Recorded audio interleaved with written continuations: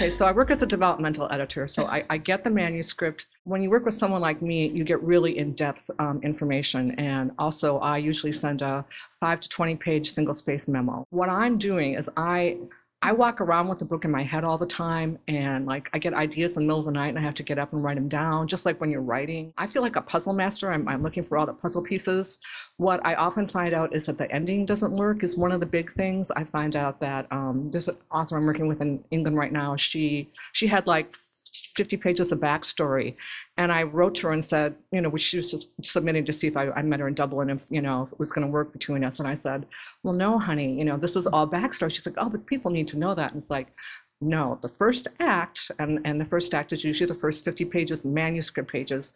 Backstory is on a need to know basis. A lot of that should be coming through with, you know, the tone and the, you know, and the setting and, and dialogue and all sorts of ways you get backstory in the beginning. You don't have to do these, these dumps. I see a lot of overpopulation, um, just too many characters to keep track of. What I see is great concepts uh, but I, I also on, on a word level, I see just lots of repetitions. I, I make a list for everybody of crutch words, the words that they keep repeating, which is something you probably have worked out. So I just do, I do a lot of big picture stuff and little picture stuff. In a funny way, with self-publishing books becoming um, more common, um, a lot of what we end up doing is a little bit of gatekeeping. I say, we will not take this book unless you get an interior designer and a cover designer, have it edited three levels, developmental, copy, and line editing, and then I have to like it afterwards. And I tell them it's going to be a ton of money and do they really really want to continue doing that? And that's if i'm not sure about the book. If if i love the book and i'm like this just needs some help then i woo them a little more.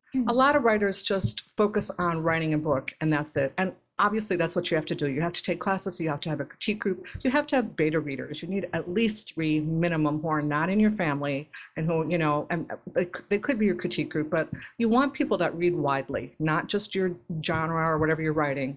And but then, you know, of course you're very absorbed in, in writing and that takes up a lot of your time. But you should be thinking a year ahead of time about how what you have to offer besides the book. If you are not on social media, if you don't have a, a blog or something, you know, you don't exist. I agree with what you were saying that it's not something that starts with the day that you publish your book.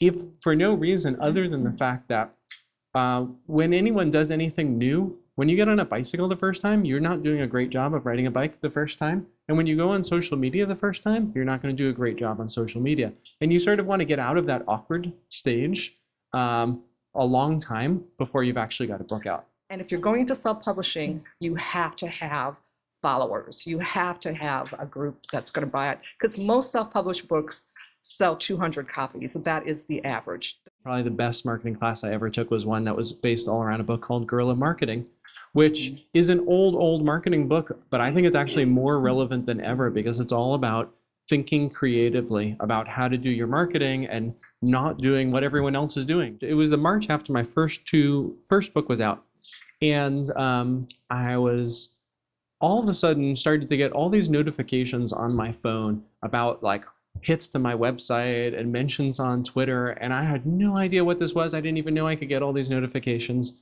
Um, but it turned out that a really, probably the most famous venture capitalist uh, in the world, Brad Feld, had read my book and he had posted about it on every social media outlet.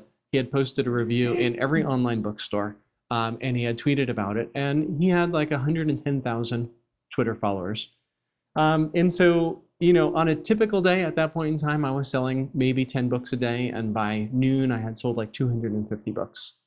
So um, I thought, I was like, I sent him a quick email. I was like, wow, thanks so much for reading my book. And that was kind of it. I would have left the relationship and stopped right there.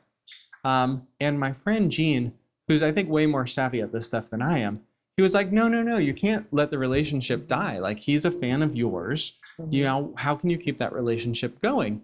And um, i was like well how would i do that? And he says well you got to do a favor for brad feld so i'm like do a favor for brad feld so what am I, this guy's like connected to everybody in the world. He's wealthy. Like what kind of favor am i going to do for him? And after a week i go back to gene and i'm like i am totally clueless And he's like, well, Brad Feld has a blog. Why don't you, he needs content for his blog. Why don't you offer to write an article for him?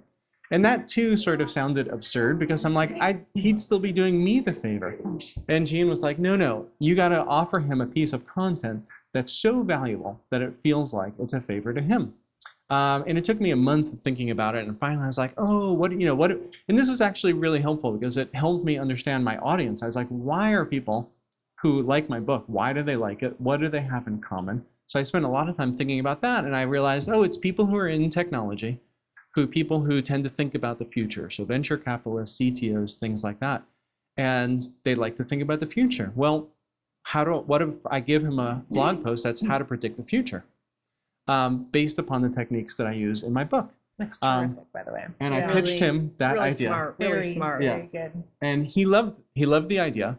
Um, and then I worked really hard on writing that article, way harder than I wrote writing the book, because I wanted that article to be the best article it could possibly be.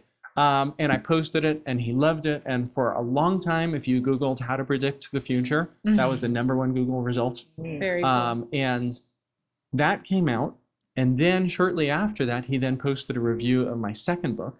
Uh, and between those two things, I was then selling about 2,500 books a month, um, every month for a long time to come. A lot of times people are scared off from indie publishing because of all that there is to learn. And there is definitely a lot to learn.